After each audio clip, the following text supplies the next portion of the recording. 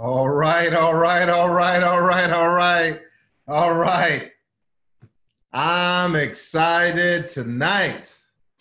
I am feeling it, ladies and gentlemen. Thank you very, very much for taking your time to be on here. Um, I just want to say that for all of you that are on this evening, you're about to have a really, really extraordinary experience with the gentleman that is going to be speaking. He's someone that um, let me just say let me just say this. If it wasn't for Mr. Art Napolitano, um, number one, I don't think there would be an AC in Europe or anything worth even really paying attention to. But the level of impact that this gentleman has had on me indirectly is uh, is incredible. I'll give you all a very quick story about Mr. Napolitano that I'm going to bring him on. I was a regional director, and I heard that he was going to be in uh, Connecticut doing an event, and I drove from Philadelphia to Connecticut for a one night only event um, where he was presenting. And I saw him, I just, just luckily saw him walking across the street going into a Dunkin' Donuts. Well, I, I, I'm an opportunist. And I'm like, I have him all by my, no one, in no one, because he got there really early. So no one knew who he was. And I sprint over to Dunkin' Donuts and I and I said, "Excuse me, I don't want to bother him because I know this happens all the time to him. My name is James Adlom. Um, I'm a regional director. If I could just buy you, a, you whatever you're having, it's on me. Just could you just spend some time and just talk to me about the business?" And he ends up buying me a donut, which made me really uncomfortable because I believe you treat your mentors. You don't have your mentors treat you. Like that's how I was raised in this company. And we sat down and I'll never forget that he was sitting there talking to me, and I was sitting there thinking, I'm having a donut with Art Napolitano. Like, this is one of the most incredible moments of my professional life. And the, the humility, I couldn't believe the humility of this man with everything he's achieved in this company. He was so down to earth. So, you have to understand that for me right now, this is a tremendous honor to have him on. You were all selected to be on. You all chose to be on this. So we appreciate you being on, everyone. And I'm going to turn this over to a gentleman who's an absolute legend in our company. He was the first, he was the fat, he hit regional vice president, I believe seven months, was the first senior vice president in ACN, led all of ACN's expansion into becoming a behemoth in the European marketplace. He's produced, every time I go over to Europe, I'm meeting a new SVP or RVP of his organization. His, his, his ACN business is like an RVP, SVP factory. And he is one of the top income earners, not in ACN, in this entire industry. The entire industry knows Mr. Art Napolitano. So I want you to really, really, really understand who you're listening to tonight. This isn't just like another like guest speaker. This is an icon in the entire industry, one of the top income earners in the entire industry for over a decade plus in the game, oh, multiple decades. So please help me welcome top producing Circle of Champions Senior Vice President, Mr. Art Napolitano. Sir, thank you very much. It is all you. Uh, First of all, James, I am honored uh, to hear those kind words. Honestly, I get a lot more applause and credit than I deserve, to be honest. Uh, not only did I start this business with an amazing partner in George Zalucki, who many of you know as one of the finest personal development trainers in the world. Uh, George and I are separated by 21 years of age, and he's retired from the field. But I met George as I was uh, seeking to grow beyond being a person living paycheck to paycheck with a dream of becoming a rock and roll star. And I sat in his seminars, Experience to Make a Difference.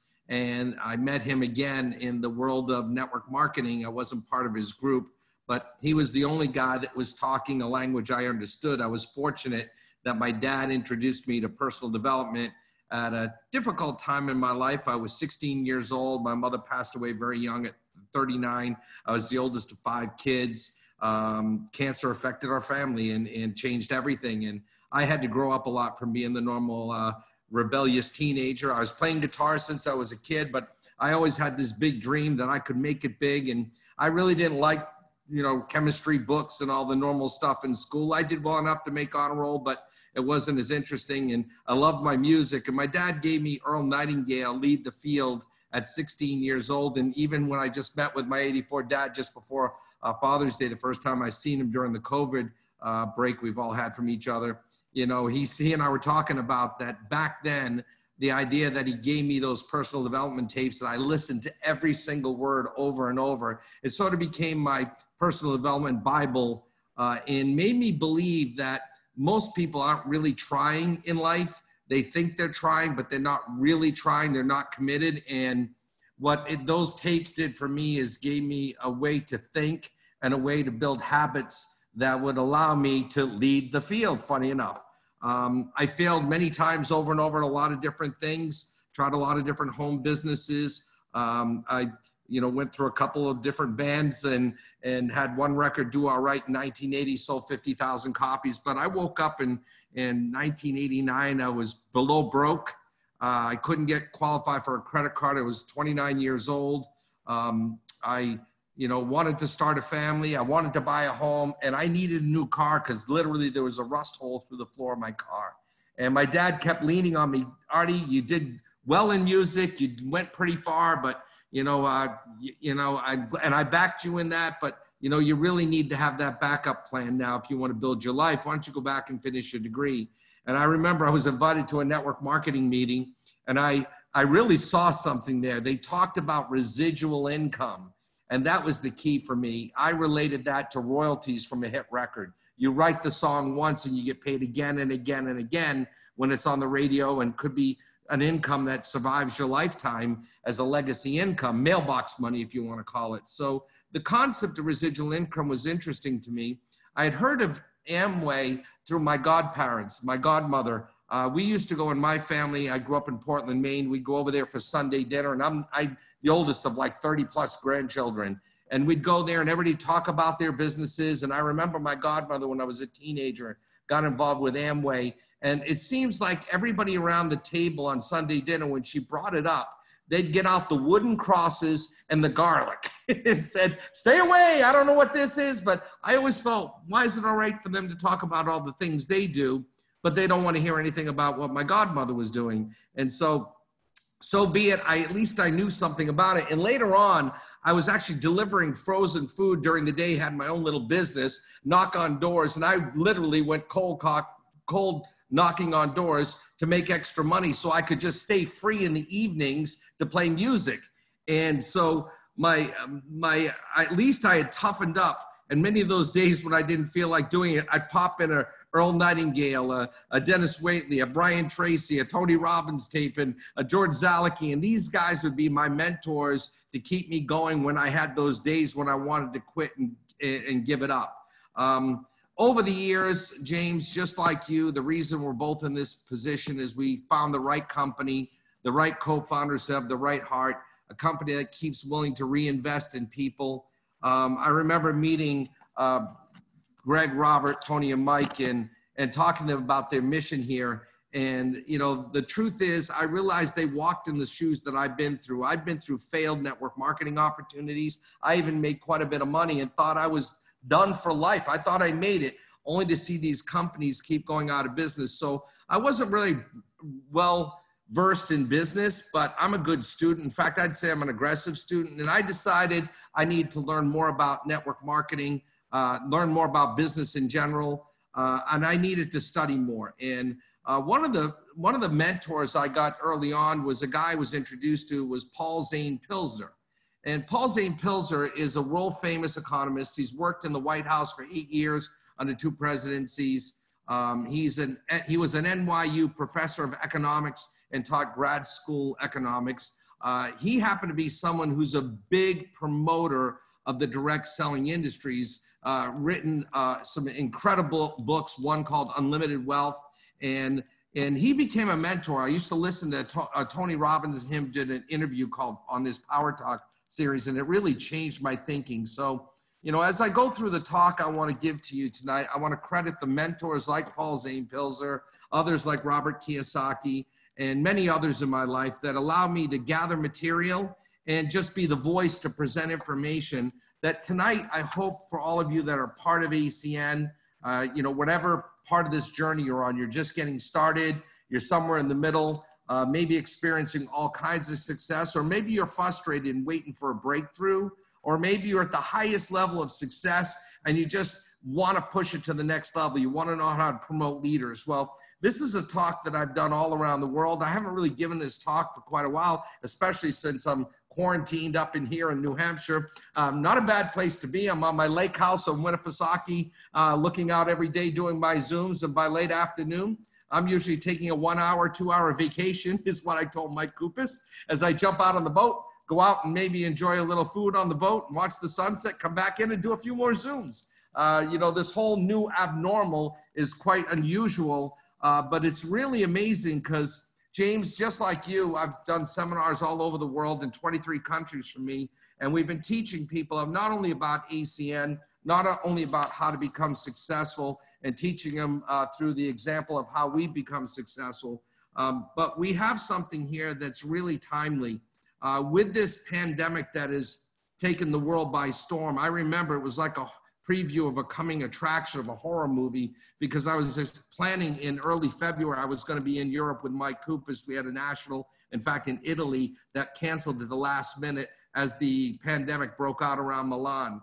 And then Mike had already gotten there and he had to cancel that event, managed to get up to Norway to do one, and then got back to Amsterdam, was going to, to uh, the UK and found out that they were shutting the borders. He got back just in time. We were supposed to still go to Australia, where I was the guest speaker, and that ended up getting uh, postponed. Uh, I don't know if I'll be going in September or not, but I'm booked. So, really, uh, we've all had to change our business model a bit. But in truth, the lessons from this pandemic we should never forget.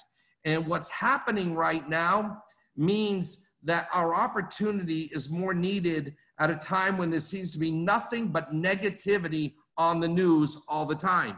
It's so depressing if you watch the news every day. It just starts to make you wonder, you know, you know, we ever going to get out of this? How things are going to recover? But I was just looking up some new statistics, and it, and it was kind of, it's really sad if you think about it.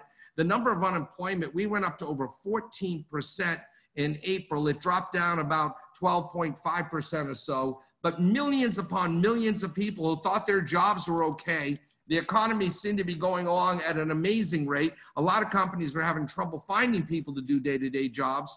And all of a sudden, there's a huge amount of people desperate to figure out how they're going to keep their families afloat because most people don't even have enough money in the bank to get past one or two months before they're absolutely dead broke. Uh, and this is a reality for far too many people. Um, the most the group of people most affected is probably small business owners, as all the economic news reports and articles you read.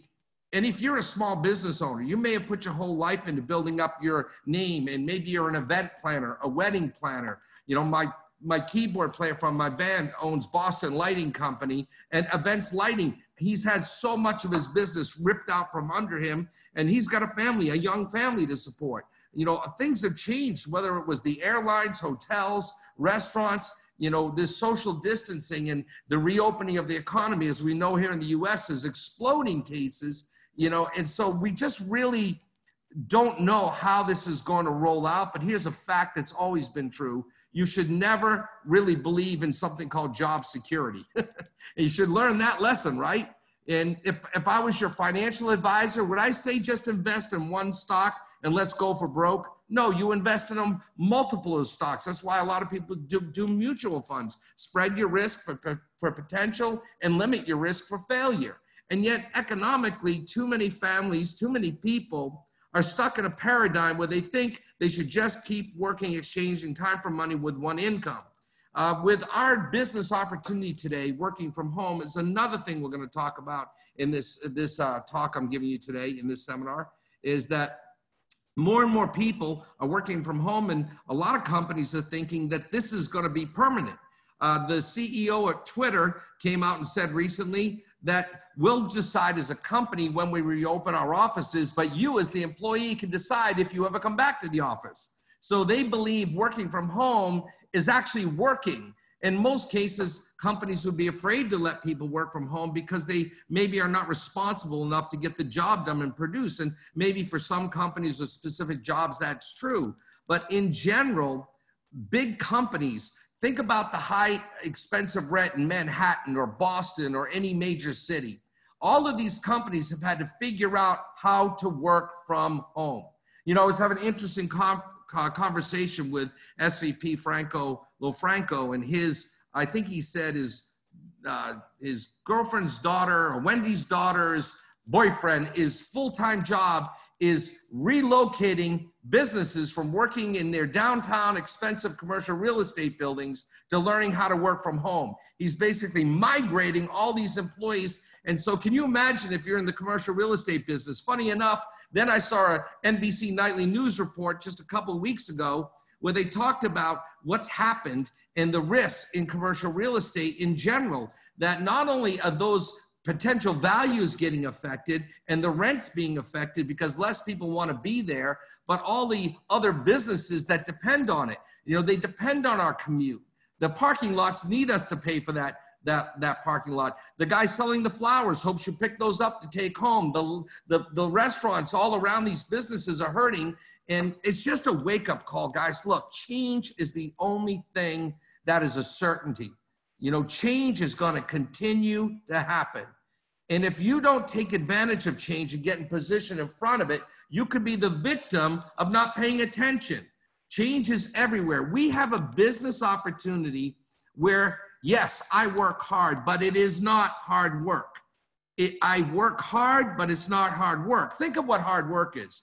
Hard work is you, I think I see a waitress or a waiter or someone working behind the bar or a busboy at a restaurant. They're busting their butts all day long on their feet for tips, exchanging time for money. To me, that's hard work. A construction worker, my gosh, is that hard work out in the, in the elements. Or you, as the corporate employee, you go into your commute every day into the city. You, you go to work at your corporation. You're working your way to the top. At the top of that, the highest paid levels, probably your CEO, your president, your senior VPs. There's fewer and fewer positions at the top, but you can only get up by climbing over somebody. And the people above you are trying to keep you down because they don't want to share everything they know so that you get a promotion. They're worried that you want more money, which you probably do, and you want to take their job. Now add to the complexity of younger employees with better technology skills coming out of school that they can pay less money that can make you redundant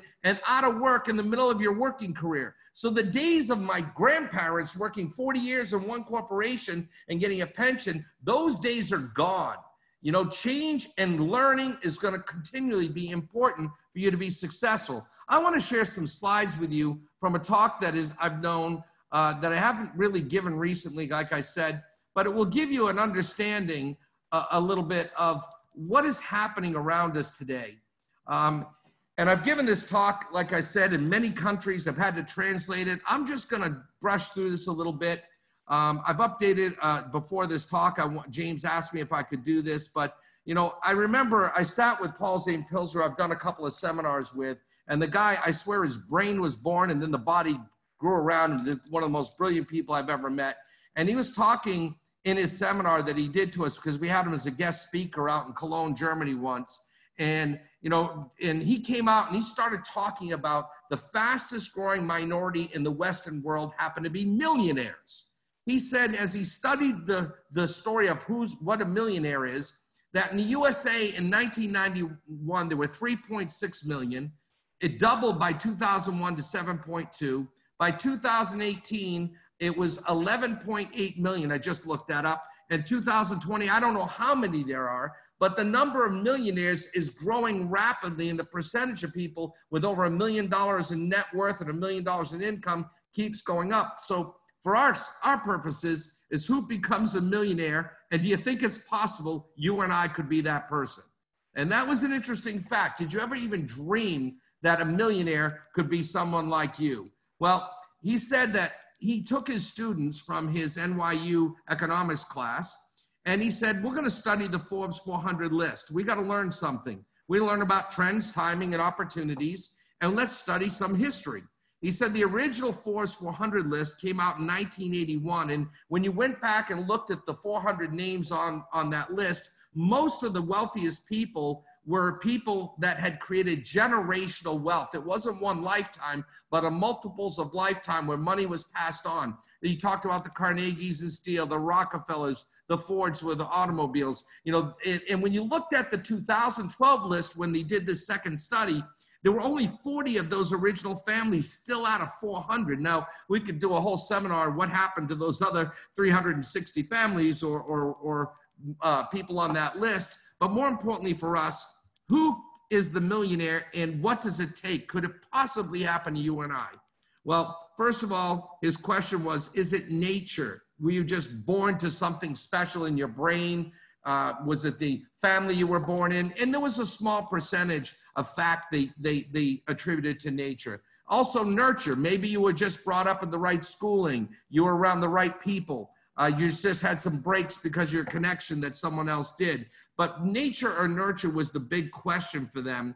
And what they noticed in the 2012 list that the 10 wealthiest people in the world, 10 wealthiest people, were either born to a poor or middle class family, and nine out of 10 didn't finish college. Now, this doesn't mean I should tell your kids not to go to college. I both my, my, my son's got his MBA and he's also got a marketing degree, and my daughter's just starting medical school to become a physician assistant as a grad student. So, of course, I believe in education. I think the more education you have, the better is your chances. But in the end of the day, too many of us hold on to lack of education. I don't have a college degree. I wasn't born to the right family as the excuse as to why we don't have more success financially in our life. And when they took these students, they went out, interviewed as many of the people on the list that would talk to them. They compiled the data and they discussed it in the classes. And what they talked about is the wealthiest people, they, they tried to find out what was it that took you from this poor family or middle class family and took you to where you are today. And they talked about sometimes it was an inspiration they got from a film, it was a chance meeting and a discussion with somebody, it was sometimes a book they read, it might be even att- attending a seminar like this, but there was something that happened in their brain, sometimes even a dream, where all of a sudden it clicked and they made a choice that this was going to happen for them that becoming a millionaire or financially successful or even billionaire today was all the mindset that they made a choice. When you decided to sign an ACN application, just like me, to become an IBO, you made a choice for some reason. A little extra money, obviously, that's where most people are. With this business, even a few hundred dollars extra a month, residual base, can be a game changer. But if you can do that, why not do a thousand? And if you can do that, it's a scalable model. Why not five? If you can do that, why not 10? Who knew that when I signed that application, that one day we would build up tens of thousands of partners and pass the 1 million customer mark through this process? In fact, we generated into the billions of billing for a business I started for less than half the price of a smartphone, less than half the price of a smartphone. And that's incredible. And so when I look at where we are today and what we have, I wonder if you've made a serious choice. You really know what you have in your hands because it can be as little as a little extra money. And if you if you ever did make over a million dollars a year with this, you will not be the first. It's been done. So let's talk about what separates wealthy people from us. I remember I was driving around the little meat truck I had with the with the freezer box with the dry ice in the back, and I was knocking on these wealthy people doors. Even Stephen King was one of my customers up in Maine. You know, he was had a radio station. He used to play my band's music, and he used to buy frozen food from me, and that's how I met him. And so I met all these wealthy people, and I one day kept thinking, here I am, tucking my hair up under the baseball hat. I'm living paycheck to paycheck delivering wealthy people all this nice food. And I'm thinking they do something that I don't. What I figured out that they did is they didn't work harder. I worked hard. That was a grind. They definitely didn't work harder. What did they do? They worked smarter. They thought differently than I did. Okay, that's a big difference. If you only think like an employee exchanging time for money, that's fine, nothing wrong with it. But if you want more, you got to understand money. See, the rich understand the difference between linear, exchanging time for money, and residual based income. Doing something once or creating an asset that can pay you again and again and again. When I read uh, Robert Kiyosaki's book, Rich Dad Poor Dad, still a brilliant but simple read. And it really got me to understand the importance of creating assets. He said the problem with most people is the poor and the middle class work hard for money. And when they get it, they got to buy, you know, the fancy car, the fancy clothes, and they got nothing left in the bank. It's all flash and cash and nothing behind the curtain. Instead, they should really be disciplined enough to, and calculate enough to put a certain amount of money away every month, every year, so that you can invest in assets so that you can actually change your lifestyle. If you don't learn about residual based income, you know, you'll never really change. You'll be chasing money the rest of your life. I just really don't understand people sometimes when they just don't get the idea. I feel it's my first job for almost 30 years in network marketing, 21 years with ACN, is to make sure they understand the difference of working an hour to get paid for an hour versus working an hour where you can get paid again and again and again. I made a video called The Time Money Trap which is just a three, two and a half, three minute video just to get the point across so that people would wake up. You want to change your life. It's not just more money, it's freedom of lifestyle. So, Rich Dad Poor Dad is a great read if you never run it, read it. He's got some other great books, Cash Flow Quadrant. I'm going to do a little piece on that just to give you an idea behind what, what he did, says in that book, the Reader's Digest version, so to speak. He wrote a direct selling book, you know, business of the 21st century is what he calls the direct selling industry. If you want to talk about somebody who's very bearish on the economy right now, look up him online and see some of the messages he has. See, he talked about in cash flow quadrants, we're trained to go to school, get a job, because that's what everybody does. That's just what we do. Get up in the morning, go to work, come back, live for a few hours at night, watch the news, live for the weekend. An employee mentality is drilled into us. So we trade hours for money self-employed. Yes I, my brother's a great guy. I got two brothers. My, my, my one of my brothers is got a heating and air conditioning business. He decided to work for himself. He left the guy that trained him started his own company. And he, and he makes good money. His kids work for him. He trades time for money. But if he's not there there's no more money. And he's had already he's one of his best friends he trained and he did the same thing. He left them created a competition competing business in the same area fighting for the same customers. And that's somebody he trained so there's nothing wrong with being in either of those quadrants, but you're limited for your rev, your return is limited to the hours of the time you can put into the business. He said the big difference is you want to be in the B and I to understand wealthy people.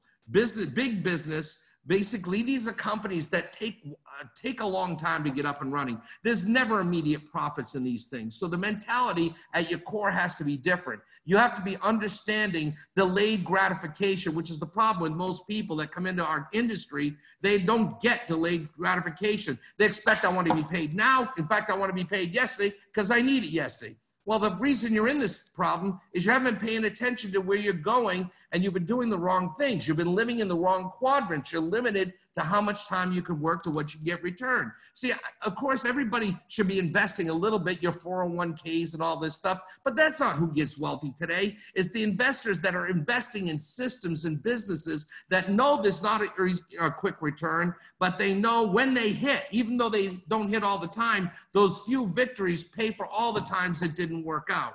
What Kiyosaki said in relation to network marketing, direct selling, and this chart is that he felt that everybody in the ENS quadrant needed to be in network marketing, not for the money, but for the education and the mindset of building an asset of residual based income. Because that is where you can protect yourself and your family. And what do we do in ACN? We're building a secondary income as the beginning place. That's where we start. Okay. Now think about how this world is changing right now. Think about it, how it's changed over the years and just our lifetime or my parents or my grandparents' lifetimes. Technology has changed how ACN operates. It's not the same business today as it was once was. And radio, it took 38 years when radio was invented to hit 50 million users. TV, it only took 13 years to hit 50 million. Internet took only four years to hit 50 million. iPods came out. I still remember my son, a little boy, saying, Dad, I'd like to get an iPod for my birthday. I said, Why do you need that? I got a Walkman. I never really believed that the, the iPod would be that popular. 50 million users in three years. I remember when MySpace was all for musicians like me, and that's still out there, but you know, it sort of maxed out at a point. And then Facebook came along 16 years ago with over 2.6 billion users. Here's the crazy part. We made, okay, we made Mark Zuckerberg one of the wealthiest billionaires in the world without even him paying us. We did all the advertising.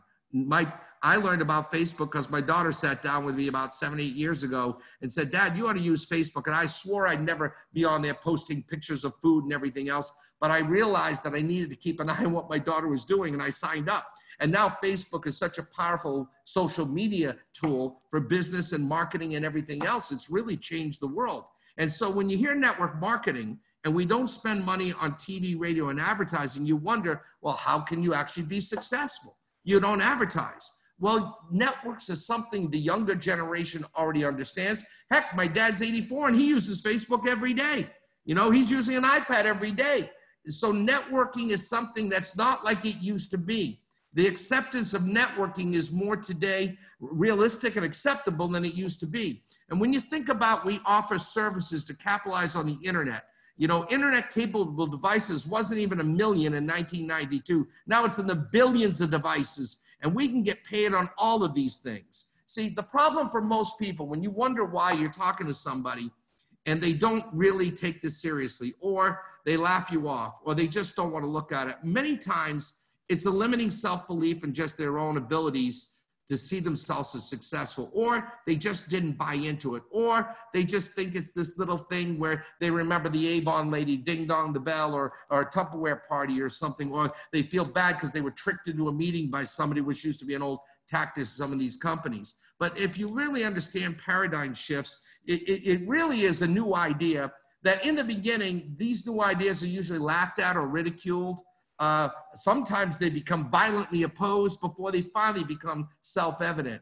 I even remember in my network marketing career that watching, you know, when I got involved, people laughed at me. Oh, you're like your godmother. You're going to get in network marketing. You're such a dreamer, Artie, just like you're going to be a rock and roll star. They kind of laughed at me. And then when I invited them to come to meetings or started talking Sunday dinner about what I was doing, I got the wooden cross and the, and the uh, garlic again. You know, they were all like violently opposing me after I've now traveled all over the world, uh, you know, had bought dream houses, lived dream lifestyle, and and, and really, I, I, owe everything to this ACN opportunity. You know, it's certainly a self-evident possibility. It doesn't mean it happens for everybody. Doesn't mean it's easy, but it is a simple system that in today's world of online meetings like this, I am doing more production. My business grew from February when we hit a lull when people stopped everything. We couldn't do meetings to really getting down these Zoom presentations. I went from February to March and grew 22% in new IBOs. I went from February to April and jumped 47% new IBOs. And I wasn't spending the money traveling and doing everything else I was doing. I was in front of more people online. The, yesterday morning, I woke up and I had presentation with a connection uh, from Australia into Japan. By the afternoon, I was doing meetings in Germany and Portugal and the UK and Spain and France. And by the evening, I could do the US. This is absolutely insane. So, network marketing, just like other forms of marketing and distribution, have also been laughed at, ridiculed before becoming self evident. Now, manufacturing, when technology was applied to that, going back into the 1800s, early 1900s, when technology advanced, they lowered their cost of manufacturing, and that's where those millionaires were made, okay? Because they used technology to lower that cost. Well, technology has gotten so good in manufacturing, replacing employees, that the real wealth today became in not creating the product, but distributing the product. Distribution became the most important ways. And so, you know, when you learn about like uh, Amazon today, you know, obviously this guy got it. He set up distribution points all over the world instead of retail stores, and he, and he became the wealthiest person in the planet in one lifetime and a short period of time. Now, franchising, if you do a little homework on franchising, franchising became 11 votes short of becoming illegal by Congress because it was laughed at, ridiculed. And yet, franchising is a huge business opportunity for a lot of people today. Take a McDonald's. Most people cannot afford to buy a McDonald's, right? But the idea of franchising that you would sign a contract, pay somebody a bunch of money to get the rights to their idea, right? And then pay them a percentage of what you sell, and what you sell is in your store. That's like us having an online shop from ACN, an online storefront, right? We sign an agreement with ACN. They provide all the stuff that we're to market. They teach us and train us, and we they earn a little percentage off our sales but we can then duplicate ourselves and we can actually duplicate like a franchise again and again. See, network distribution is already happening anyway. And with automation and robotics, it's, it's improving all of those systems, lowering operating costs, but it's also affecting jobs and what we have to think about going forward. Okay, think about the distribution billionaires. Sam Walmart, Sam Walton was the richest person of the uh, on the world one time after he passed. His com- combination of heirs was still wealthier than Bill Gates at one point. Fred Smith became a billionaire with FedEx. He created an airline to move products. He was laughed at. He wrote a, po- a college paper that got a low grade about his distribution and spoke theory. Ross Perot, the late Ross Perot, ran for president once. He formed a company that was just set up to store and distribute information. And so they never really manufactured everything, and never mind Jeff Bezos' story. When I think of the, the franchise model at McDonald's, I always encourage people in my seminars to watch The Founder, the movie The Founder. And it's the story of McDonald's. It's actually a pretty good film. I laugh because there's an audio record, an actual record player early on, and Ray Kroc, the founder, was listening to, I believe, The Strangest Secret by Earl Nightingale back then, which was like the Bible of all these other personal development guys. And so in that film, which is so interesting, the McDonald's brothers that started McDonald's, who are from New Hampshire, by the way, moved to the West Coast. They came up with this process to produce these burgers fast and consistent, but they tried franchising and duplicating, couldn't control it. So they gave up the idea because it didn't work. So they just stuck to what they were doing. Well, Ray Kroc found out about it. He went out and met these guys, and he was providing the machines to them, so the shake machines and he never saw anybody do more volume. It was so popular. He went back to him and said, You've got a franchise. They said, No, nah, it doesn't work. They said, You're just not doing it right. Let me have a deal with you. And he forced himself in. And while the McDonald's brothers focused on the profits for selling the burgers, Ray Kroc focused on selling the opportunity to distribute the burgers and training people to sell burgers. Think of that compared to ACN and network marketing in general. I always say we share the opportunity first. I pick up customers all the time when people say no. They just naturally say no. Not, not everybody gets it or wants it. That's fine. I love them anyway. I pick up my customers on the way. But I'm like Ray Kroc. I'm marketing opportunity first. Is the timing right? It couldn't be better.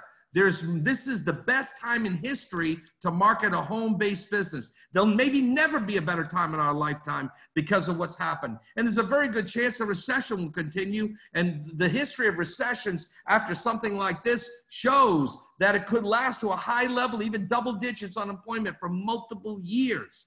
And when I look at McDonald's, as they built out all these on uh, these franchises around the world, thousands and thousands of them they came out with in 1968 the Big Mac. It was a hit.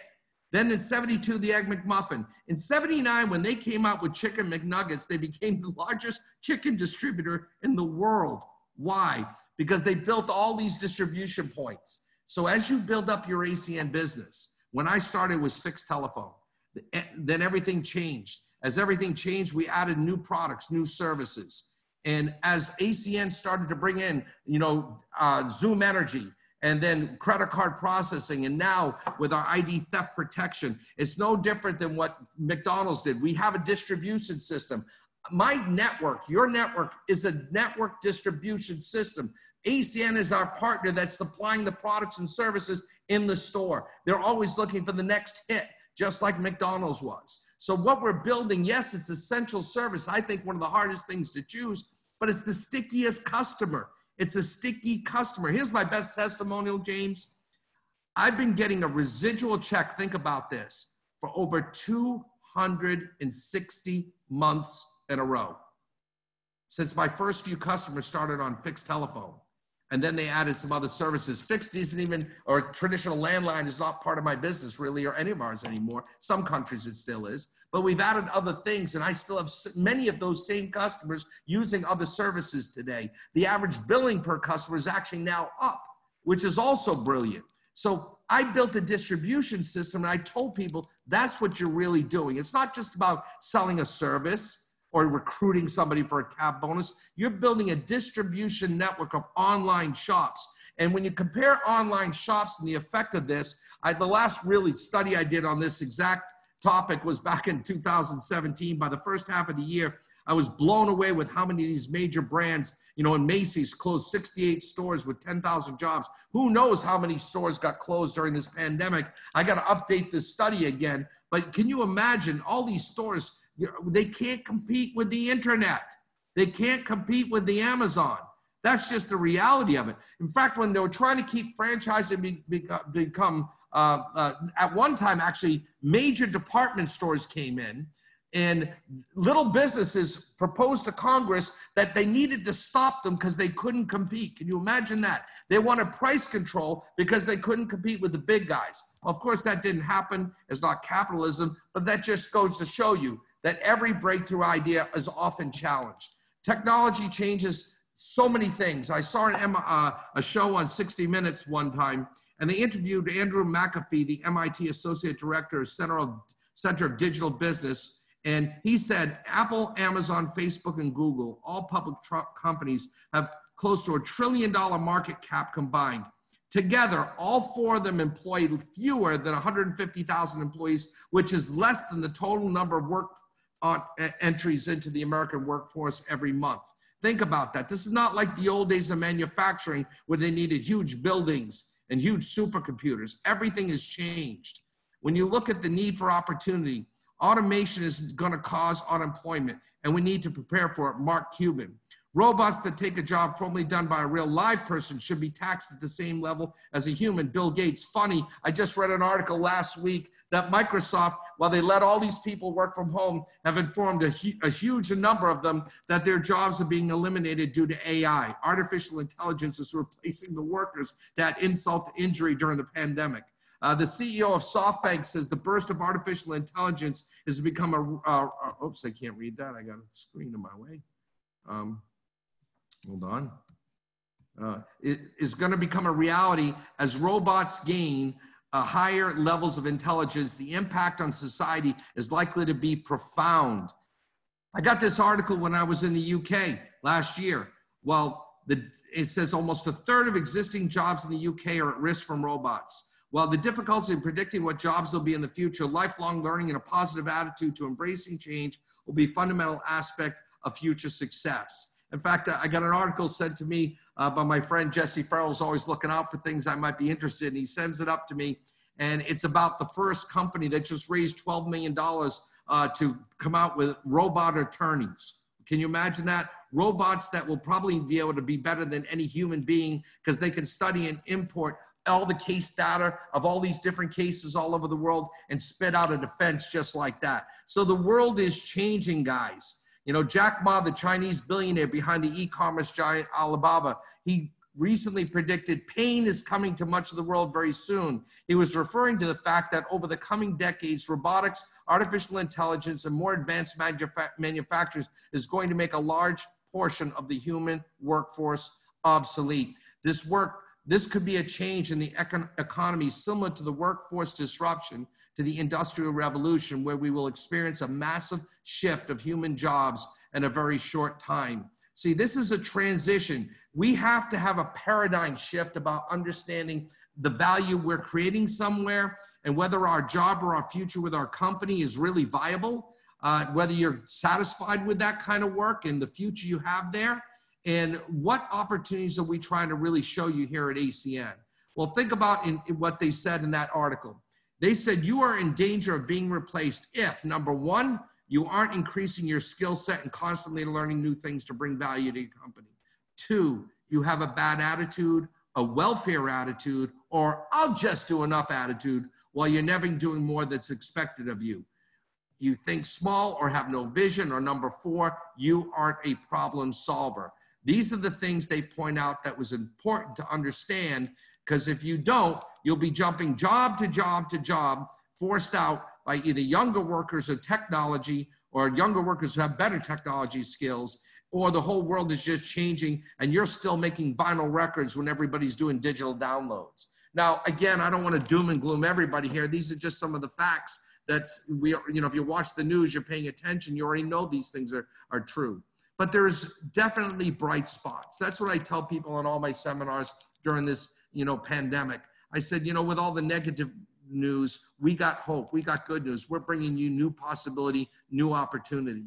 And what paul zane pilzer said what is the one bright spot on the horizon that would give someone an opportunity to be retrained to learn new skills? Direct selling. That's why he's an endorser of network marketing. We're about educating people on new concepts you know face-to-face marketing read the book the tipping point Okay, The Tipping Point was brilliant book to talk about how people make decisions. You know, when you hear about something once or twice like an advertisement, you don't buy right away, but multiple impressions in the brain gets you familiar with it. That's why they advertise. That's why it's effective. And then you hear maybe even an acquaintance or loose acquaintance that talks about that product or service. They have it. Next thing you know, you're buying it online or at the store. So we know as people learn about direct selling, they may have heard it from a friend or heard it here or heard it there. But until the timing is right for them, that they're looking at their life and saying, it's my life, what am I going to do to make change? And they take advantage of that. They may not make change. For example, I probably wouldn't be here today talking to you about this if my music career reached the levels I was seeking. But then again, I might be dead too, to be honest with you. What we have here is something where I achieved everything I was hoping for through network marketing that I wanted from music. I travel the world. I have fun for it. I get residual income. I don't have to get out of bed early in the morning if I don't feel like it. You know, it's absolutely the rock star dreams lifestyle that I've been looking for. So when I look at what we have today in home business, it's a question I ask when you think about how simple the business is. We have a business without borders. It's the first time that I've been in this company in 21 years that every single team is working together, sharing meetings. I have a, I have my Facebook page and and I and I share all my meetings. I share all of your meetings. I put meetings from all over the world that open to everybody. You know, I don't even have to know where you live as long as you're in one of the countries we're open in. You know, I can plug you into training that someone else is doing. See, we have a business now that I used to have to say, well, listen, I, I know somebody in, you know, uh, outside of of uh, I don't know Spokane, and do you know anybody doing a meeting there in order to get them support? That doesn't even matter anymore. I just got to get them plugged into an online system. You know, the home meeting, the PBRs as we call them. You know, you, you have to drive across town after work. You have to go to a friend's house. You, then you have to take that time, and then you sit through a presentation. Then you got to drive home, and then you have to get up early, early in the work the next morning. You know, now I can cut all that travel time out, and I can keep it so simple. I don't prejudge anybody. I said, hey, listen, do you, you know, any, any, how you doing during the pandemic, first of all, but do you know somebody be interested in making some extra money working from home right now? I got a company that's exploding during this pandemic, and I just thought you might know somebody. See, that's not even being direct, that's indirect. So I'm basically talking to somebody, inviting them to an online presentation. I'm not presenting, I'm just giving them an invite. If I give you a special link to this seminar, this online meeting, would you take the time to get involved? If I would you take the time to get involved. I create value that I'm inviting them to that presentation. So just think about that. Is that difficult? Is that hard? See, I work hard. That means I'm on the phone a lot. I just outworked everybody, James. I made more phone calls. Yes, more people said no, by the way. Who cares? Enough said yes. And I did better with my friends' friends than my own friends because my friends remembered me as the guy leading the band, leading the party, not leading people to change their lives. So what I learned about home business, and now the world is learning that it actually is a lifestyle choice. Network marketing is a lifestyle for me. Okay, social networking. It's it's social marketing with it's like social media, but with a compensation plan. Okay, we have flexibility, income diversification. It gives you the second income. In many cases, this becomes a primary income. And because of access to affordable technology today, like we're using now, the whole world is opening up. We should be able to grow even faster. The direct selling industry as a whole is, is quite remarkable. In 2010, it was $125 billion generated in 150 countries. I just looked it up tonight. 2018, we did 192.9 billion worldwide. I've been tracking this, believe it or not, since 93, and it was 14.9 million people. And today, uh, 2018, over 119.4 million people. So you're not alone you know, and the high, the quality of the individual. That's what I loved about ACN. I remember telling my sponsor Larry Raskin, and I said to George, I said the big difference between the traditional vitamins, diets, lotions, potions things and services is I think men specifically have a much easier time adapting their self-image to marketing services than cosmetics or skincare or, or things like that. Nothing wrong with those companies or products. It's a whole different animal. But also there's a better residual tied to what we do because in those companies you go back to zero every month and you have to start building up your sales again. That's why they push auto ship here i get a customer. It's sticky. Yes people sometimes leave my business. Sometimes people do but the customers stay. It's amazing how much that happens so, you know, some people are going to come in and they're going to be make a little money and disappear. Some come in, it becomes a full-time career. Others go in and they want to be SVP. And all we did to get there is become the advertisement, word of mouth. We share a message about hope, possibility. We, we share a united front for changing the world. You need a personal paradigm shift to just accept that others may not get it, and that's okay. Be part of this distribution revolution. ACN has changed over the years from deregulation of telecom they taught me about to now deregulation of energy. In Europe, we're launching blue green energy similar to XOOM here, and something amazing is going to happen as we build that brand. And our goal is over a billion dollar brand just in the European markets. The analog opportunity is what I started with, then everything went digital completely changed. The co-founders shifted with it, providing us two opportunity. At one time, we're in video phones. Of course, that technology became obsolete too. Social networking, people laughed at it. I laughed at Facebook. I told, I, I swore I'd never be on it. Now I'm on it every day, using it mostly for business, a little bit of fun too. E-commerce, people laughed at that today. Those big companies aren't laughing at it who have to pay for the brick, the mortar, the normal expenses of running a business while Jeff Bezos was going a different direction and people laughed at him. He was building distribu- distribution points and centers and not traditional buildings and for employees to sell things. So this whole opportunity has changed. My sister sent me this Fortune magazine story on Jeff Bezos a couple years ago because she knew I like to talk about this stuff. And she said, uh, in, in the magazine said, everything we've ever done at Amazon, you know, coming up with customer reviews, my people pushed back at me, bad idea. I came up with third party selling. They said, oh, we should sell just our stuff, bad idea. Oh, personalization, they said, bad idea. In 1994, he said in the article, typing your credit card on the internet was a bad idea, probably still is, but we have ID seal. He said, every single idea that we've come out with has been called a bad idea. But, but our willingness to be misunderstood is one of our greatest strengths. Think about that as you do your network marketing business with ACN.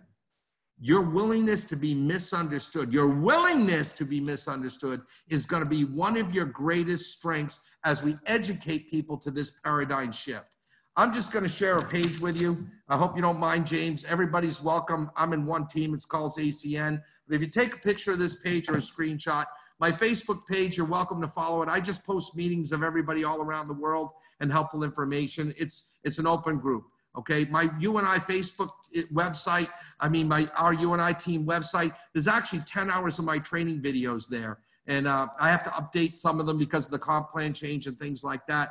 But there's subjects and short subjects, short videos that gives you all kinds of information that will help you because obviously I can't be in every country all the time.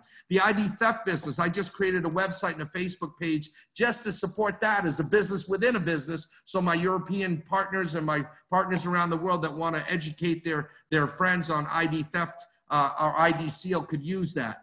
And then uh, my, my reps, uh, Miran de la Sierra, Bosch Bocari in Spain are phenomenal. They created the most amazing Spanish website that ACN Impresiaro, I can't even say it, Independente, I, you know, I can't say that so well, but Caesar, you could. But anyway, uh, that whole, that website is anybody with Spanish speaking people ought to be on that website. You know, it's designed specifically for Spain, but it's absolutely brilliant to support the field.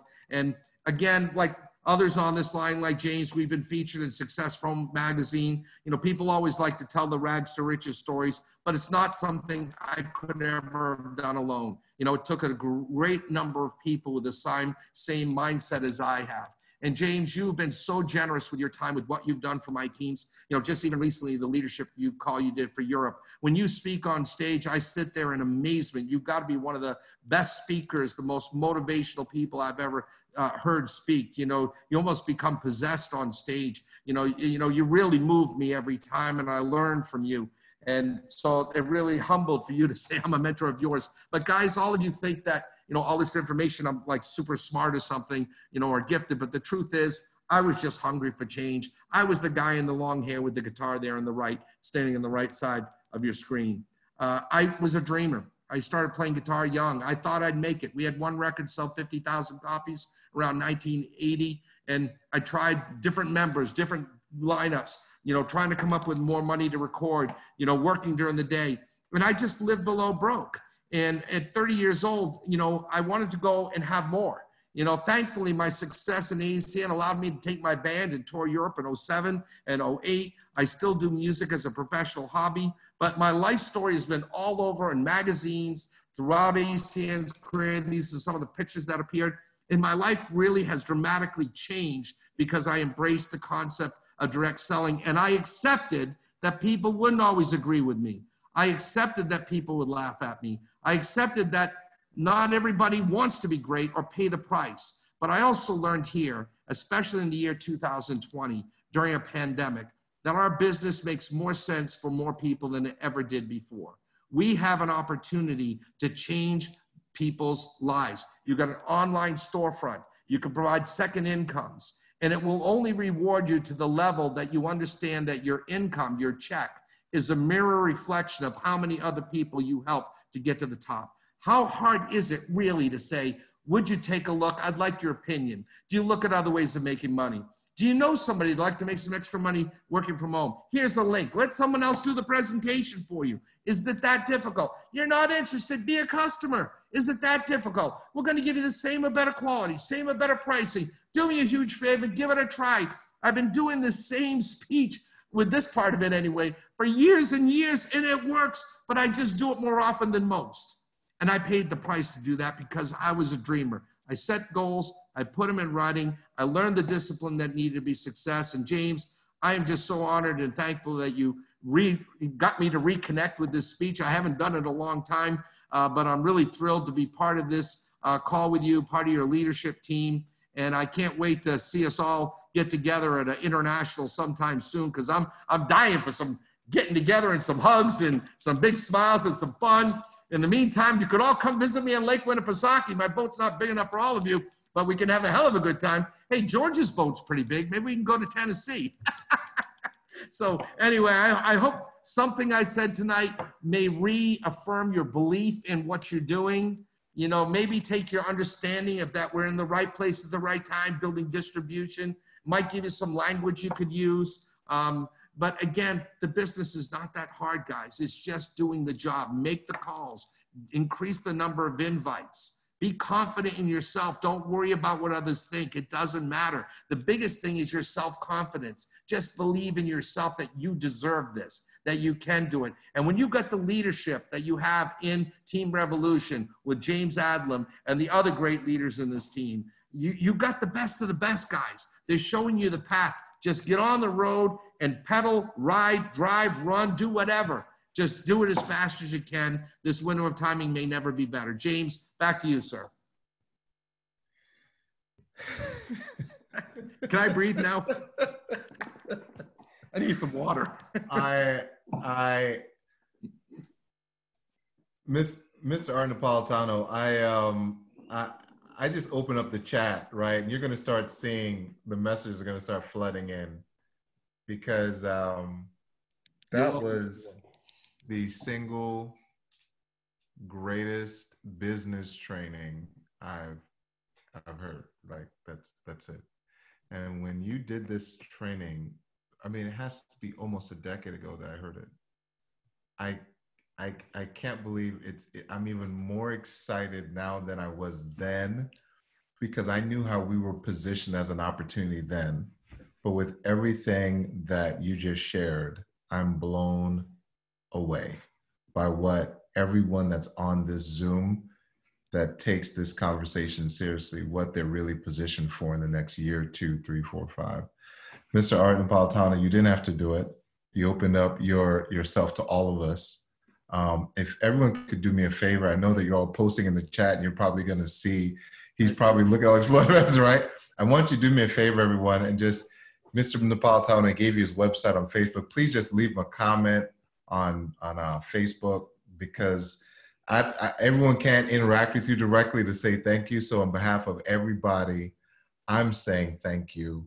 There's like 87 thank yous coming in the last like 60 seconds. I'm just grateful. I'm grateful. You are a master teacher. And uh, I know without a shadow of a doubt, my life was changed the night that I heard you, and you just changed so many lives tonight. Um, I just thank you so much. Thank you so much. You're welcome, James. God bless you and all of you. Thank you for having me on. I'm really humbled to be part of this. you don't know how much respect I have for you. I mean, I hope you do know how much respect I have for you and seeing your your involvement from that day in Hartford. I do remember that day very well. I'm turning around and James is following me through the parking lot into Dunkin' Donuts. I'm not quite as big as James. I'm thinking, this guy follow me? and we get in, we sat down and had a cup of coffee, and I bought him a donut or a muffin or something. yeah, that's exactly it. Anyway, from there, you created history, and I'm so happy for all of you because you, you can write your own story from here on out. This is a new day for all of us. You know, don't get taken off track by what other people think. They obviously haven't seen what you just saw. They haven't studied or read what I've read or maybe what you're learning now you know this is a this is a vehicle an opportunity to get what you want but you got to be willing to, to go out and put in the time you know and all you got to do is just get good at the invite get good at the follow-up follow your mentors each day you're going to get better you're going to get better your results will improve over time as your confidence grows you attract better people and that's been the key for me too you know i got better people as i grew more confident in myself and that's just something you have to do so james again love you brother i wish you all the best thank you guys for having me on tonight Thank you so much, Mr. Napolitano. God bless you and your family. Thank you just taking your time with all of us. I'm so grateful. Thank you so much. Man, wow. Whew. how, how many of you feeling just like me? Just like, whew. I, just, I don't even know what. I don't even know what. I felt like I just got an MBA. You understand? Like I just got an MBA, like a real world MBA. And I, like I, I don't even have anything to say. I just I'm just gonna say this. Um, thank you for uh, all of you for being on. Um,